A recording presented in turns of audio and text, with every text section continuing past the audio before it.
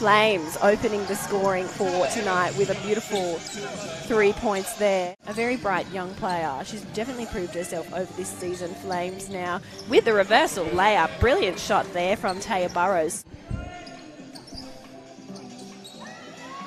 Well done, Mia. Unfortunately, ripped out by Tayah Burrows. And again, another reversal. She's loving that one tonight. This week because they're just loving it on the court. Burrows again with the steal, finishes it off. Oh, can't ask for more than that.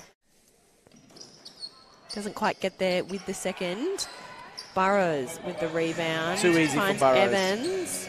Oh, and bang. It. Three points for Taylor Evans.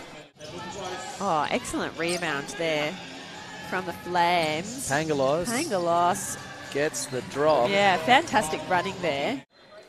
It's a Flames baseline ball now. Burrows receiving it high. Goes to Craker on the, the right there. Bang. And we begin where we left off. That's exactly it. At least she had a shot, which I'm happy about. That's exactly She's it. She's got a nice hmm. arc on that. Coop, as expected.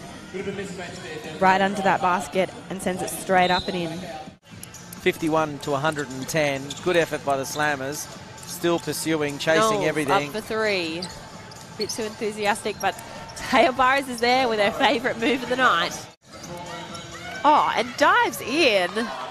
Brilliant effort. Unlucky that she didn't get the, the fortunate drop, but rolls around into that left. Pushes it out. Burrows goes straight above the arc. Says three points in my pocket.